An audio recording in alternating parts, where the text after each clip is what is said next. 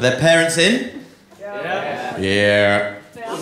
Uh, it's a weird thing, isn't it? Having to be somebody's co parent and their lover. Having the, the person that you're co parents with and the person that is your lover be the same person. It's a weird sort of thing to marry together, I think. And that's no more true for me. and other parents in the room may have experienced this the phenomena of going down on your partner in the same room as a baby monitor. it can take you out of it slightly, do you know what I mean? I, am a, a, very big fan of oral sex. Uh, I like it. I enjoy to receive oral sex. I think it feels very nice. Um, when somebody performs oral sex on me, I'm often thinking, yes.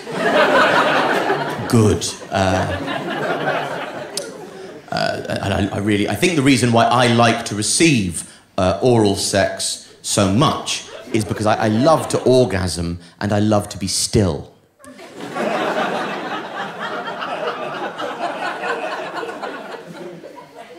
on an occasion. Uh, quite often, the person who is performing oral sex on you will go, "Are you not enjoying it? Why are you not like?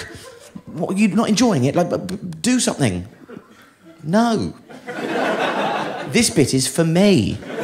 I'm just going to lie down, play dead, and then suddenly ejaculate. Don't expect anything from me right now. Uh, I also love to perform oral sex. I, I think that's quite good. I, I, like to perform oral sex on uh, pe- people, currently person, but broadly speaking, people. Um, I, I, have read literature on how to be good at performing oral sex because that seems like a, a common courtesy. Uh, what you do if you want to be good at oral sex uh, is what you do is you just make a, your tongue fat. Uh-uh. Get a fat tongue. Make tongue as fat as you can. And then swipe up from the neck. do that for a bit, and then every so often just go across as a treat. That's not really what you do, is it? No. I made that up. You're genuinely supposed to spell something apparently. You really are. You're supposed to spell something out on it. You know? Pernicious. I think that's the best word.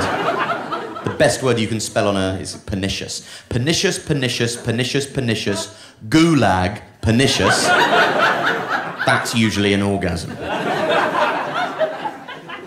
Also, the good thing about going down on somebody who is your partner uh, or, or, or, your lover is that, you know, a regular partner is that you will learn when they're about to orgasm from their cues. They give you different sort of physical and maybe oral cues that let you know that they're about to orgasm, which is useful. So for me, I can tell when my partner's about to orgasm when she starts using the back of my arms like soap dispensers. mm!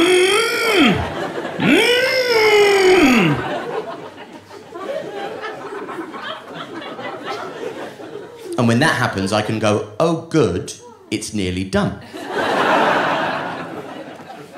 Which isn't to say that I don't like it, I just am also glad when I've finished it. That's, I'm glad when it ends, but that doesn't mean that I don't enjoy the journey getting there. I don't want you to misunderstand going, oh, I hate it. It's good, I like it, but also good, it's finished. You know? I wouldn't like football if there was never full time. Make sense? Like my grandma often says she wishes she was dead, but that doesn't mean she wishes she never lived. anyway, um, it's funny because most metaphors are reductive, but that one isn't. That's why that's funny. Um, so I'll be, uh, I'll, I'll, be, I'll be uh, performing uh, oral sex on her in the same room as a baby monitor. I'll be trying my best, uh, everything I've learned fat tongue, swipe up, uh, all of that stuff. I can do it for a while. Mm, nearly done, nearly done. Uh, and then suddenly on the baby monitor, you'll hear. and she'll go, shh, shh, shh, shh, stop, stop, stop, stop, stop, stop.